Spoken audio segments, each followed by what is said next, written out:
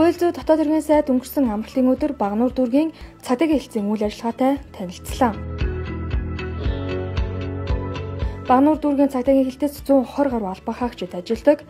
Цагдаагийн хэлтсийн шинэ байр өнгөрсөн онд ашиглалтанд орж ажиллах таатай орчин бүрджээ. Хэдийгээр цагдаагийн хэлтсийн шинэ байр ашиглалтанд орсон ч дүүрэгт зориултын төр саатуулах, эрүүлжүүлэх байр одоо хүртэл байдаггүй. Үүний улмаас тус цагдаагийн хэлтээс уурхайн ажилчдын нийтийн байрны нэг давхрыг сарын 600 орчим мянган төгрөгөөр түрээсэлж үйл ажиллагаагаа явуулдаг байна. За энэ асуудалд оршин суугчид шүүмжлэлтэй ханддгаас гадна амгалан тайван байдал алдагдаж байгаа уг явдалд одоо хүртэл гомдол гаргаж байгаа юм.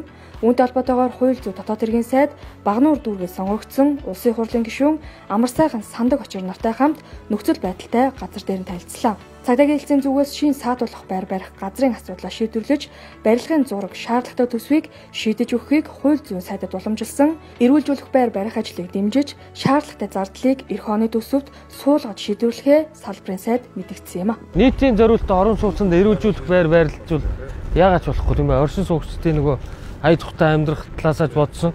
Нөгөө талаасаа тэр нөгөө нэг хүнд ноогдох талбай метр квадрат аюулгүй байдал бүх зүйлээ бодсон ч боломжгүй зүйл байна л да. Тэгээд Багнуур дүүргээс сонгогдсон хоёр гишүүн маань бас энэ асуудлыг санаачлаг гаргаж тавиад газрын асуудлыг, зургийн асуудлыг шийдвэсэн учраас тэгээд бид нэр эх оны төсөвдөр хууль зүйн сайдын багц дээр батлуулъя гэж байгаа. Уудлын үеэр хууль зүйн дотоод хэргийн сайд Багнуур дүүргийн цагдаагийн хилтэс автопарк шинжилгээ хүрээнд туулах чадвар сайтай Францын Renault Duster маркийн хоёр автомашины түлхүүрийг гардуулан өглөө.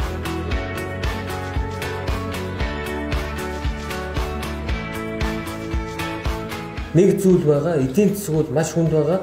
Энэ нь зөвхөн Монголын эдийн засаг биш дэлхийд даяараа эдийн засаг ийм нөхцөл байдалтай байгаа. Энэ бол коронавитой холбоотой.